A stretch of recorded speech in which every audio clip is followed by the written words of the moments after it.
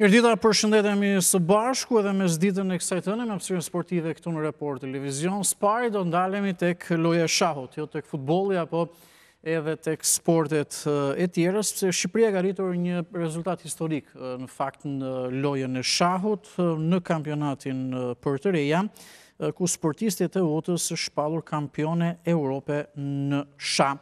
Bëhet fjalë për trembëdhjetë vjeçaren Kler Çaku, e cila me shtatë fitore dhe dy barazime është shpallur kampione Europe gjatë fundjavës në kampionatin e Rapidit që sapo mbaroi në Slloveni për vajza deri në moshën katërmbëdhjetë vjeçare. Kjo është Kler Çaku që në fakt ka një lidhje të hershme me këtë sport sepse jo vetëm tashmë në moshën trembëdhjetë vjeçare, por siç tregojnë edhe këto foto, edhe në moshë më të vogël ka fituar kupa edhe medalje, këtu është në një foto me një kupë pas një suksesi të arritur me ministren Bora Muzhaqi.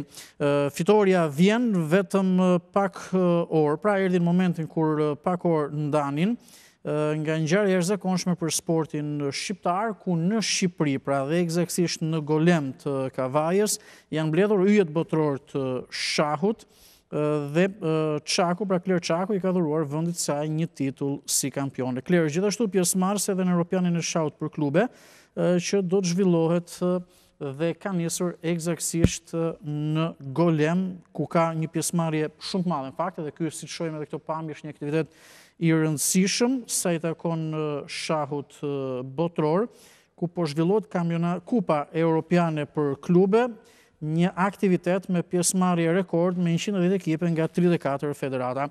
E për të diskutuar më shumë në lidhje me këto dy zhvillime të rëndësishme, evenimente, por edhe arritjen historike të Kler Çakut kampione Europe, kam në komunikim drejtpërdrejt nga Golemi në Kavajë zotin Erald Dervishi, presidenti i Federatës së Shahut. Zoti Dervishi, mirëdita ju përshëndes nga Report Televizion. Përshëndetje dhe faleminderit për ftesën. Kënaqësi që të jemi së bashku, ka dy zhvillime dhe aktivitete për të cilin do të flasim, mirëpo lajmi kryesor është Kler Çaku, pra kampione Europe në shah. Ne kishim parashikuar që edhe Kleri të ishte në këtë bisedë dhe besoj me të do të kemi nëpërmjet kolegut komunikimin pak më vonë kur ajo të mbërrijë. Por çfarë mund na thuash, çfarë do të thotë kjo arritje për shahun shqiptar? Të them të drejtën, domethënë, është një, suks, një sukses i jashtëzakonshëm për shahun shqiptar, por edhe për sportin shqiptar. Kleri është një super talent që tashmë e dinim prej kohësh, nuk është një surprizë. Mungonin vetëm rezultate të tilla spektakulare.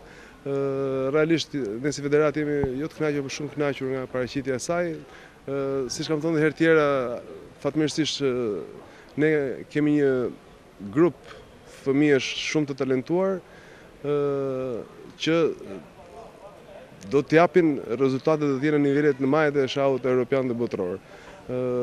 Aktualisht kemi filluar, siç siç po e shihni edhe vetë, kemi po, filluar po, të korrim frytet e punës disa vjeçare dhe Jo, me dy pyetje të ndalesha pak edhe tek po, po, Kleri. Po, po, më thoni. Edhe në fotot që unë kam parë, domethënë ky rezultat duket sikur nuk ka ardhur rastësisht, sepse akoma edhe më e vogël se kaq Kleri shihet duke pozuar, pra duke bërë foto me kupa apo edhe me medalje. Në një farë mënyre, cila mund të jetë e ardhmja e saj? Në momentin që 13 vjeç është kampione e Europës, çfarë mund të arrijë më shumë? Çfarë mund të arrijë më shumë? Aktualisht kampione Europe për grupmoshat deri në 14 vjeç. E rëndësishme është që të vazhdojë të jetë në plejadën e shahut europian dhe botëror dhe pse jo të arrijë të jetë edhe në majat e shahut botëror edhe për të rritur. Ë kuptohet që për të arritur në këtë nivel duhet punë. Ë Kleri është një vajzë super inteligjente, është një vajzë e talentuar dhe e rregullt. Dhe besoj që me falë punës saj dhe ndihmës që ne do mundohemi t'ia japim sa më shumë si federatë, pa diskutim që kam bindjen e plotë që Kleri do të arrijë në majat e shahut botëror edhe në moshat më të mëdha. Shpresoj që shembullin e Klerit ta ndjekin dhe shumë bashkëmoshatarë të saj, ne kemi edhe disa fëmijë të tjerë shumë të talentuar që besoj do të arrijnë rezultate ndoshta të njëjta apo edhe të ngjashme në të ardhmen, por kur dikush nga ky brez fëmijësh të talentuar arrin rezultate, bëhet përveçse ka suksesin e tij personal, bëhet edhe inspirim për bashkëmoshatarët e saj dhe për fëmijët e tjerë dhe më të vegjël për të arritur majat e sportit, majat e shahut europian dhe botëror. Tëj, zoti Dervishi shahu... Sot, do... Po, po. Jo, mund të më thuash, mund të më thuash.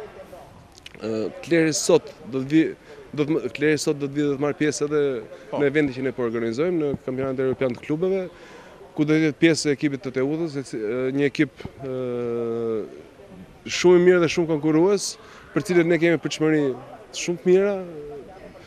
Besoj që në këtë përbërje të ekipit do të jetë një ish kampione bote Antoaneta Stefanova, do të kemi dy mjeshtre të mëdha polake të cilat do të jenë në ekipin e Teutës, ku po në këtë ekip do të marrë pjesë edhe Kleri dhe Ajlini. Kleri është më pak se 13 vjeç, ndërsa Ajlini është ende pa mbushur 11 vjeç.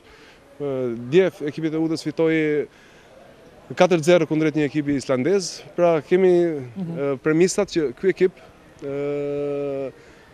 të arrijë ndoshta pranë zonës së medaljeve, pse jo ndoshta edhe të, të marrim ndonjë medalje në këtë kompeticion europian. Cili siç e kemi thënë më parë, është eventi më i rëndësishëm europian përgjatë një viti. Të kuptoj. Edhe dy dy çështje kam. Së pari tek shahu, nuk e di, kur shikon që aktivizohen kaq të rinj të bën përshtypje. Dhe në fakt vëmendja më e madhe, së pari duke le të themi bërë një një mea culpa një lloj ndjese edhe për ne mediat është që interesohemi për sporte të caktuara në momentin kur ka rezultate.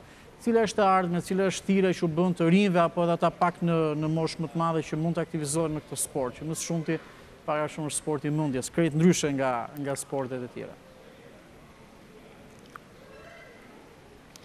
Atëherë, një nga objektivat e Federatës Shqiptare të Shahut ka qenë krijimi i një projekti zhvillimor për sportin e shahut në Shqipëri.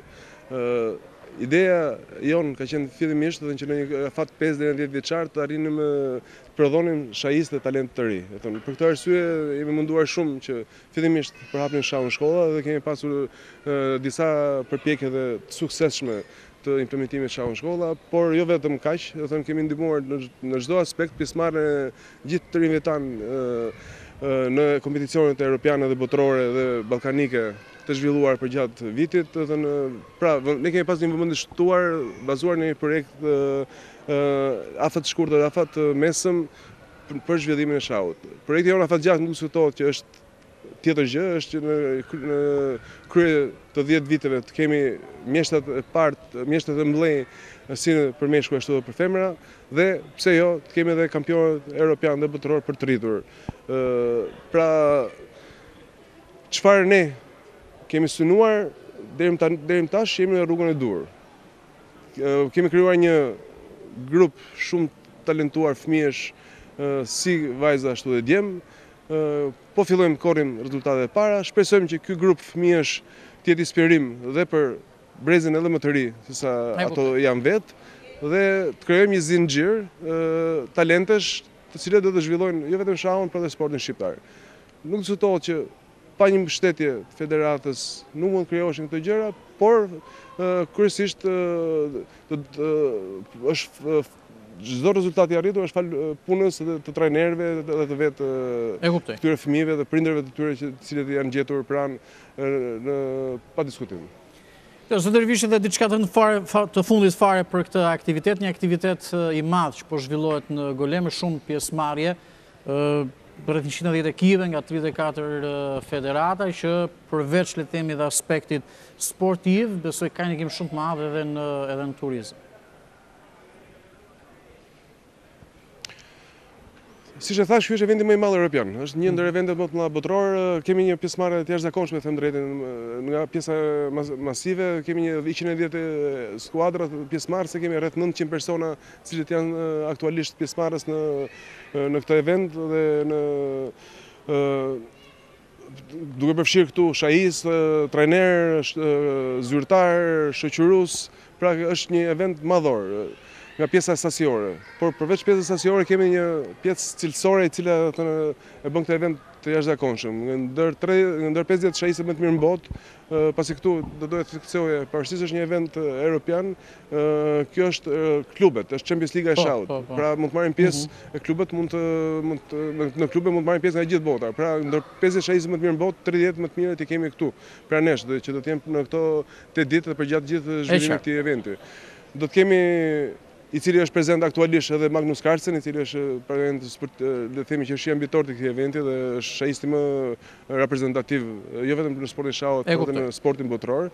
Do të kemi Anand, ish kampion bote dhe por, por disa ish shampion bote të cilët janë aktualisht pjesëmarrës dhe prezent këtu në Durrës. Pra është një një festë sportive e jashtëzakonshme që Them të drejtën, ne si federatë na bën të ndjehemi krenarë dhe shpresojmë që edhe ne të jemi në lartësinë e e këtij eventi, si për sa i përket pjesës së zhvillimit, ashtu edhe për sa i përket pjesës së mbarëvajtjes së këtij eventi me sukses. E qartë. Zoti Vishi, faleminderit. Faleminderit, suksese ju uroj. Ju falenderoj edhe unë dhe shpresoj që televizioni juaj do të ndjekë hap pas hapi zhvillimin e këtij eventi me sukses dhe të t'ia përcjellë publikut i cili ka pasur një interes të jashtëzakonshëm për sa i përket të kërkesave për të ndjekur këtë event. Patjetër, me kënaqësi edhe kjo bisedë ishte me me të njëjtin motiv. Faleminderit edhe një herë.